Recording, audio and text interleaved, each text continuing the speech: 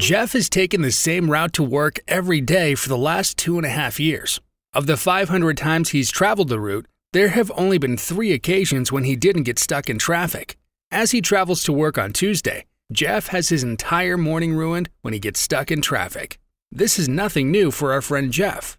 What Jeff doesn't realize is that he is committing emotional suicide by way of unrealistic expectations. Jeff runs into traffic 99% of the time on his way to work, yet he pulls out the same driveway every morning expecting to beat it. As a result, Jeff is disappointed 99% of the time.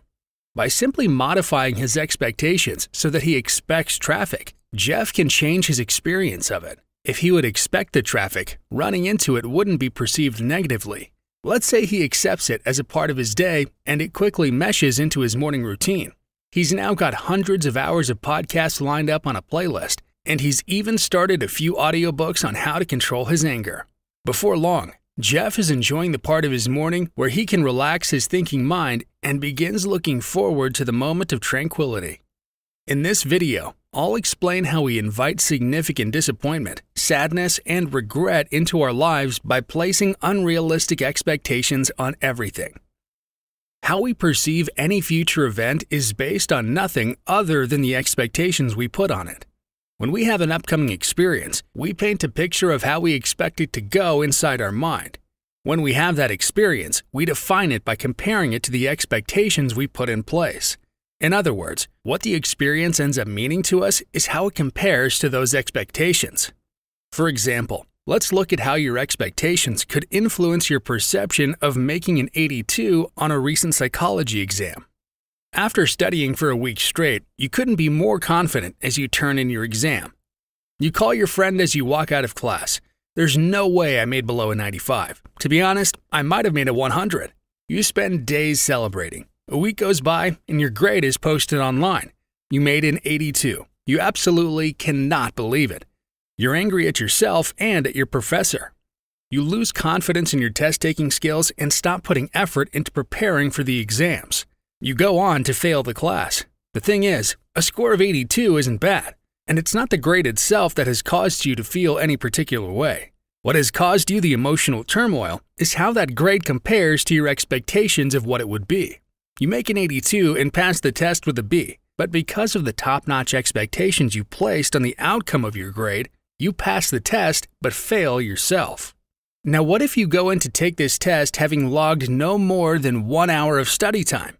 Your stomach is in knots as you walk into class the morning of your exam. You flip it open and know immediately that this won't end well. After two hours of guessing, you leave the professor a side note complimenting his new shoes and turn in the exam.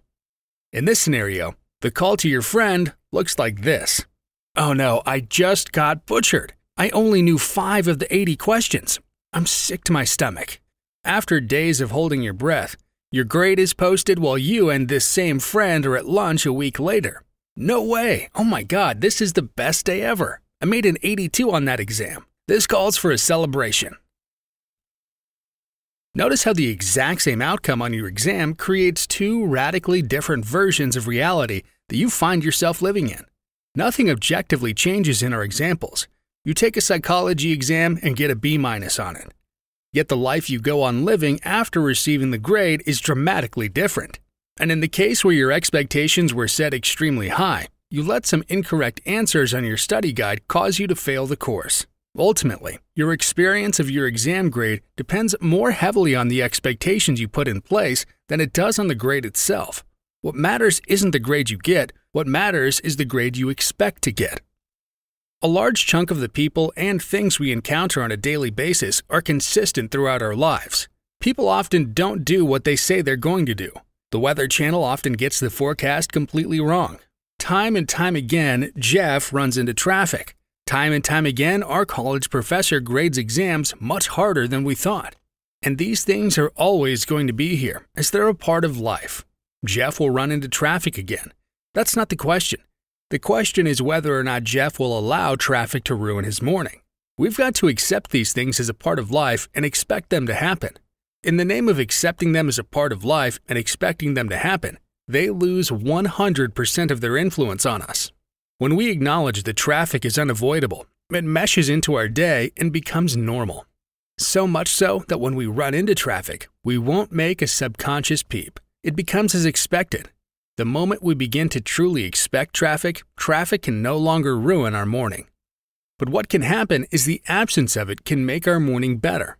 As a thought experiment, imagine if even though you studied like crazy for your exam and were as prepared as you'd ever been, you took into consideration the fact that this is only your second exam with this professor and you aren't very familiar with his grading system, and that you did get those three answers on the study guide from Jenny, and she almost failed the last test. As confident as you were, you can take all of this into consideration. Instead of expecting to make above a 95 with all the confidence in the world, you expect to make no worse than a B on the exam. While you still won't be jumping for joy, these expectations radically change your experience of the 82. Now you are as content with a B minus as you would have been with a grade of 95 in the first example we used. Our perception of a future experience is determined by comparing it to the expectations we put in place. If we lift all expectations, what we are confronted with is easier to accept. If we expect the worst, a mediocre experience can bring us tremendous joy. But if we always expect the best, we are setting ourselves up for disappointment by overlooking life's consistent hurdles.